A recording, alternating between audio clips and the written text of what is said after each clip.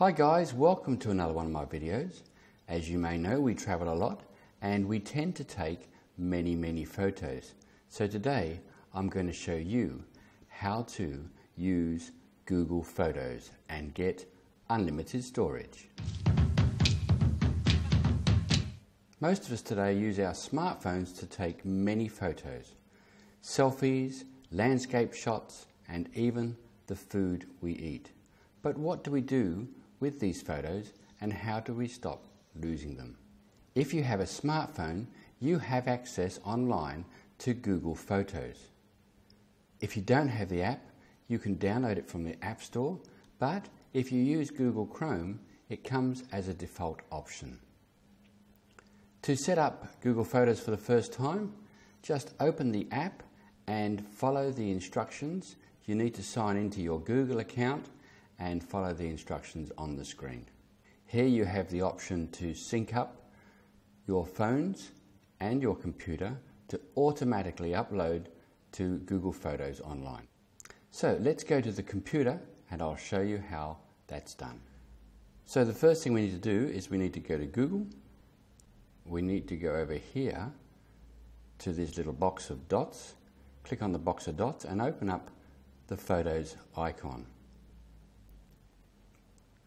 I've already signed up to Google, but you can just follow the prompts and join up yourself using your, your Google account.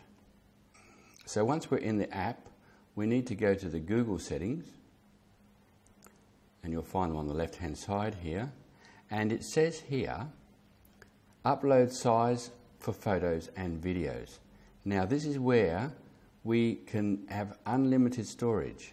If we leave them in the original state here, we get 16 gigabytes of storage and that comes as the original pixels.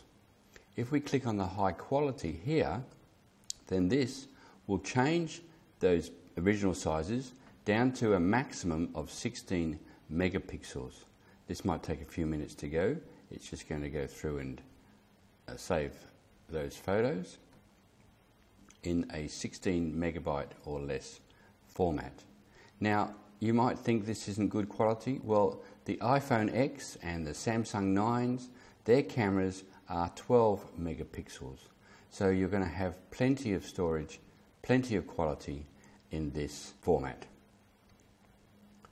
Recover storage, click on recover storage.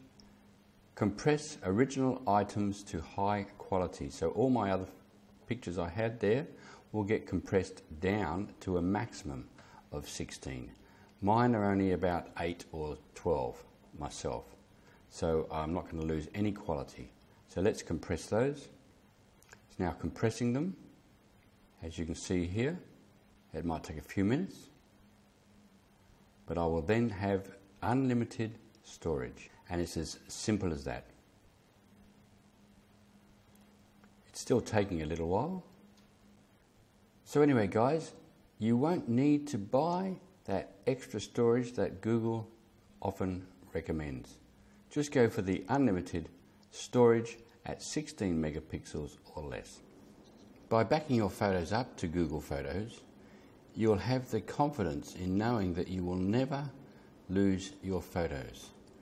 If you break your phone, if you change phones, you will always be able to recover your photos, download them from the Google Photos app. Depending on the amount of photos that you have already uploaded, depends on the amount of time it'll take to compress.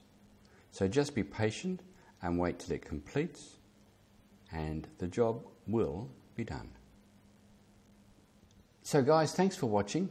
I hope you enjoyed the video. If you liked the video, give it a thumbs up. If you haven't subscribed, you can push on the subscribe button and click the notification bell for any new videos I upload. So we'll catch you in the next video. Bye for now.